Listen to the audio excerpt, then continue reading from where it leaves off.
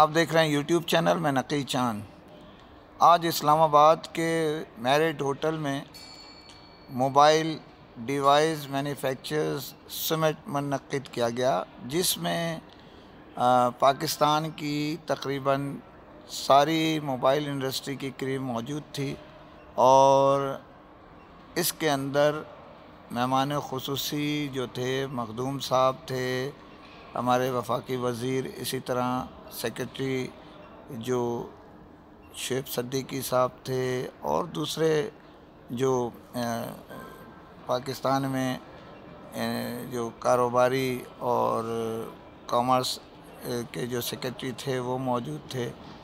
इसी तरह पीटीए की तरफ़ से जो है, वो तालिब डोगर साहब थे और नुमान खालिद साहब थे। इसके अलावा दीगर इदारों के भी जो बड़ी शख्सियात मौजूद थी। ये एक प्रोग्राम इंतहाई ज़बरदस्त मनद किया गया। इसमें पाकिस्तान के जो अगर देखा जाए, जो मोबाइल इंडस्ट्रीज़ को दरपेश मसाइल और उनके मामला को डिस्कस किया गया और वफाकी वज़ीर और आला हुकूमती अहदेदारों के सामने एक इसका खाका पेश किया गया कि क्या मुश्किल किस तरह। दुनिया भर के हिसाब से सबसे पहले जो है वो मुजफ़र पराचा साहब ने इसके मुतालिक आगाही दी और बेहतरीन स्पीच की।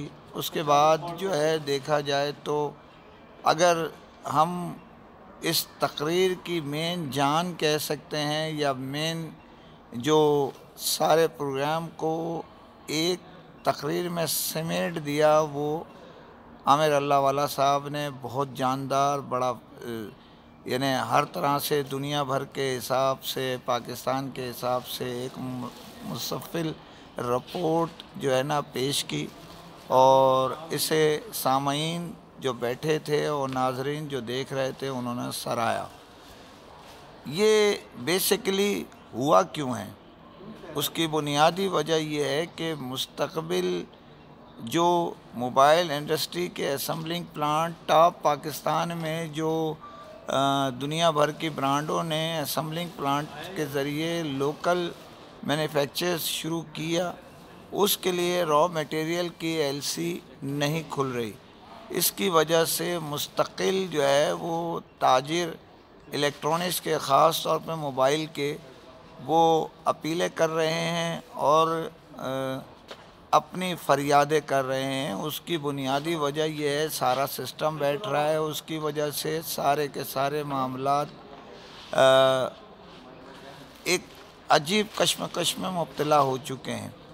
यहाँ ये भी मैं बताता चलूँ आपको कि इस जो जो ये प्रोग्राम मनद किया गया, इसके बाद उनका प्रोग्राम स्टेट बैंक के गवर्नर से मुलाकात का है, जो उम्मीद की जा रही है कि एक दो दिन में इस्लामाबाद के अंदर मुलाकात या कराची में आन के जो है वो कराची में स्टेट, गवर्नर स्टेट बैंक से मुलाकात की जाएगी।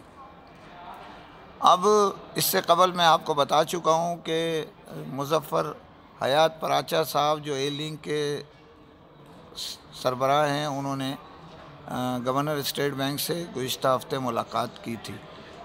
यहाँ ये मैं बताता चलूँ, आपको ख़ास तौर पे ये प्रोग्राम इंतहाई शानदार और इसके तीन सेशन मनद किए गए, जिसके अंदर जो है वो पहले मामलात में जो है वो डिस्कस की गई अपने मसले मसाइल और दुनिया भर के जो मामलात है, उससे आगाह किया गया, उसके बाद फिर वक्फ़ा, चाय का वक्फ़ा किया गया, उसके बाद फिर लोगों को जो है वो उनके मामलात के लिए अवार्ड्स से नवाजा गया, उसके बाद लंच हुआ लंच के बाद फिर तीसरी पोजीशन पे इसी तरह इवार्ड्स और स्पीच होती गई। इसके अलावा एक ख़ूबसूरत इजाफ़ा जो किया गया, उसके अंदर ये कि इसमें सवाल और जवाब की भी जो सामीन बैठे हुए थे, उनसे सेलेक्टेड पैनल जो पाँच अफराद का था, जिसमें सब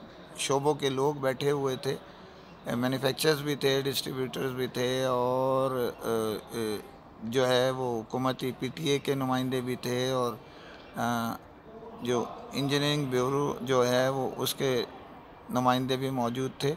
तो सवाल जवाब किए गए, बड़े तसल्ली से। यहाँ इस प्रोग्राम में ये भी बताना आपको ज़रूरी है कि इस प्रोग्राम में आप समझ लें मुजफ़र हयात पराचा थे, नफीस हैदर थे और इसके साथ उनके अदनान साहब जो हैं वो भी मौजूद थे, मरियम साहिबा भी थी। ये बताना ज़रूरी है इस प्रोग्राम में एयर लिंक की तरफ़ से जो है मुजफ़र हयात पराचा थे नफीस हैदर थे। इसी तरह यूनाइटेड मोबाइल से जो है वो फैसल मोती और हमज़ा रशीद मौजूद थे। डिप्लाई की जानब से ज़िशान कुरैशी थे और शम साहब थे और खुरम ज़िया थे। इसी तरह जो है वो हमारे ज़िशान यूसुफ साहब मौजूद थे। इसी तरह आप देखा जाए तो एम एन पी से जो है अगर ज़िशान अमानुल्ला साहब थे, नोकिया से आरिफ शफीक थे और सत्तानवी और दीगर मौजूद थे, इसी तरह जो है वो बिलाल साहब थे, इसी तरह जो बस मोबाइल वाले हैं, इसी तरह इटाची से उनके भाई थे सरदार ख़ान के। इसी तरह जो है वो देखा जाए तो बहुत सारी ऐसी शख्सियात मौजूद थी।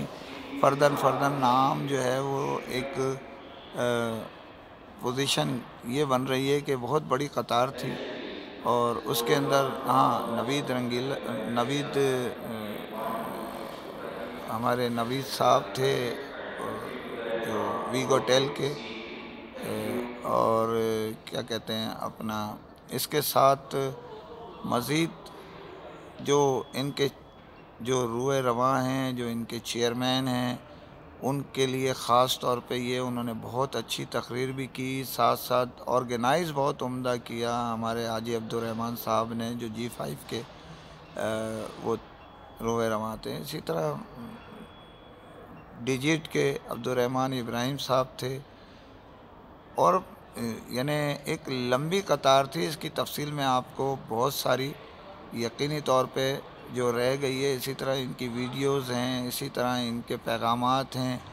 उम्मीद ये की जा रही है कल मैं तफसीली, क्योंकि इस वक्त मैं इस्लामाबाद एयरपोर्ट पे बैठ के ये रिकॉर्डिंग कर रहा हूँ और फ़्लाइट का टाइम हो रहा है तो बहुत सारी जो मेरे दोस्त अहबाब रह गए हैं, उनके नामों को इन मैं कल आपके गोशे गुज़ार करूँगा।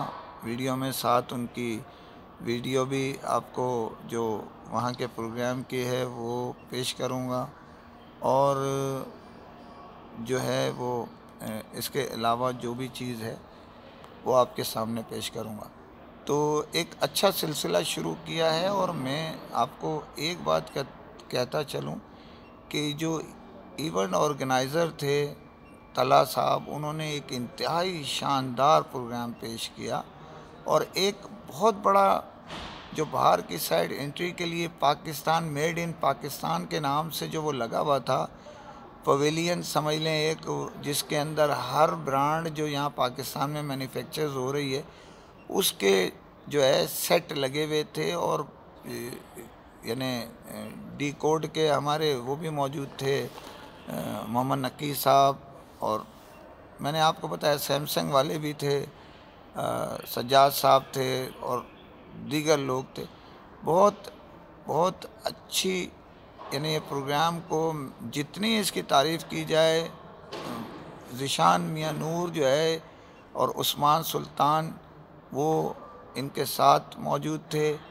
इसी में, ये मैं इस वजह से बताता जा रहा हूँ जो जो मेरे जहन में आ रहा है वो मैं आपके गोशे गुजार कर रहा हूँ। ज़िशान मियाँ नूर, अपना हाजी अब्दुलरहमान साहब, जिशान मियाँ नूर मुजफ़र पराचा इन्होंने बेहतरीन ऑर्गेनाइज़ किया। सारे प्रोग्राम के करता धरता यही मौजूद थे, तीनों शख्सियात, और इन्होंने भरपूर अपना जो है वो इरफान साहब भी थे, मी मोबाइल के।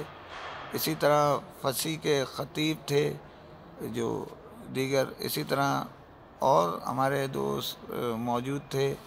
काफ़ी, मैं आपको इन कल पूरी तफसील बताता हूँ। इसी के साथ मैं इजाज़त चाहता हूँ और वॉइस ऑफ़ इलेक्ट्रॉनिक्स में ने अपनी हसब रिवायत, जो ताज़ा तरीन ख़बरें आप तक पहुँचाने की है, उसकी रिवायत बरकरार रखी।